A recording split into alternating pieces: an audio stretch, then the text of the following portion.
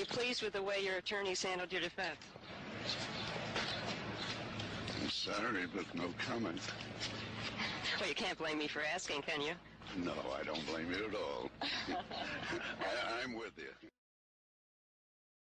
and steadfastly refused until his death to talk about his many years as an underworld financier. I can say a lot, but I'm going to reserve that for posterity. David Goldstein, Channel 4 News. Mr. Lansky, why are the American authorities after you? Because a newspaper man started a campaign against me, and it snowballed to such an extent that I guess it can't be stopped anymore. I was singled out for some reason. They needed an image. And this has gone to an extent where it just snowballed, and I don't know how far it's going to go. And when did the uh, snowball start rolling? Well, actually, it started about 1965 when some newspaper man wrote an article that I have $300 million. Well, I wish I had a million dollars. I said, many more things, remember, have been said about me.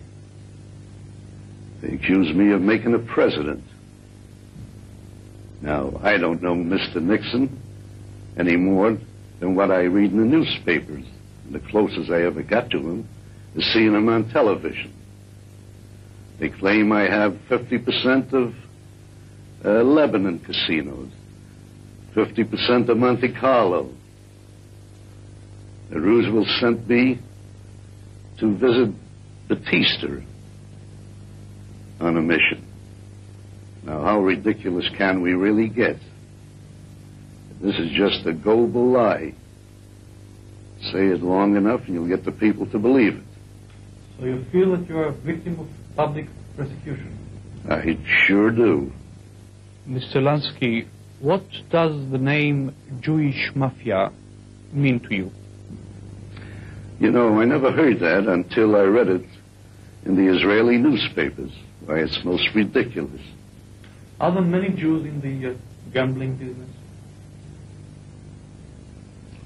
Well, when you say many, you'd have to judge by percentage. I think if you took the percentage of the gambling business in the United States, took the Jews, you would find them maybe in that proportion. Why is it said that you are the head of the organized crime in the United States? Well, that's the same principle that started the other gossip. That's most ridiculous. It's the news media again. It's the follow up of the first thought. It was never said about me before years ago. All this came about just in the last few years. I didn't know as I was growing older it's going to get worse. Is there, there an organized crime? Is there? I have no knowledge of it. Are you a religious Jew? No, I'm not a religious Jew. And what But are I'm a Jew. In my heart. what are your connections with the Joe Stacher? Just friendly. Mr. Lansky, how do you reconcile the accusations against you in so many publications with your claim of innocence? How do I reconcile it? Yep. Well, it's from the same source.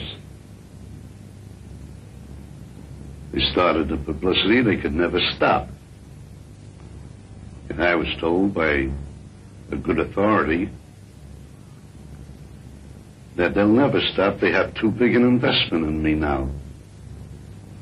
Now, I have been under surveillance for many years now, maybe for the last 10 years.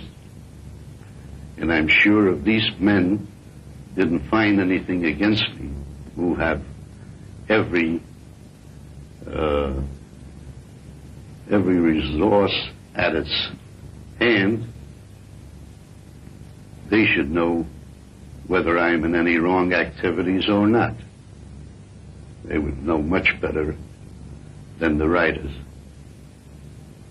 Do you want to become an uh, Israeli citizen? Yes, I do. Mr. Lansky, did you invest money in business in Israel, do- or do you intend to invest money? No, I'm retired. And I would like to stay as a retired man in Israel, just like any other retired Jew. Amid the strongmen and murderers who fought the Prohibition gangster wars, only one mob boss built his crime empire on the strength of his word.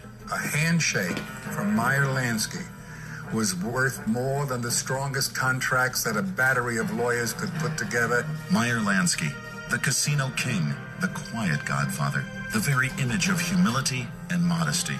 He dressed very well. He never had loud clothes. He said, I don't want to be too flashy. A shrewd master manipulator who claimed that he never killed a man. He did business and made his living through men who regularly killed people, and so is equally guilty. Lansky turned a natural genius for numbers into a multi-million dollar gambling empire. High rollers made and lost fortunes at his casino tables. And the hundred dollar bills were that high. Oh, they were just incredible.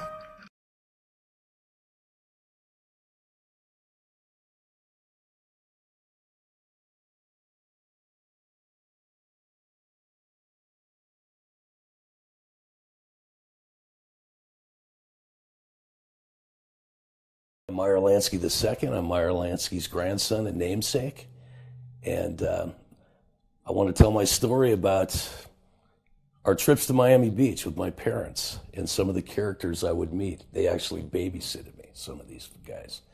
Um, I kind of want to go uh, ahead a little bit and talk about a guy named Jaime, who I knew later in my teen years, that used to drive us all around and um, you know, he would pick me up and get me ready, prepared to see my grandfather because my grandfather never showed up at the airport. I think he was kind of aloof with that because he didn't want to connect himself with me at that time because I was his namesake. So I would always get somebody to pick me up.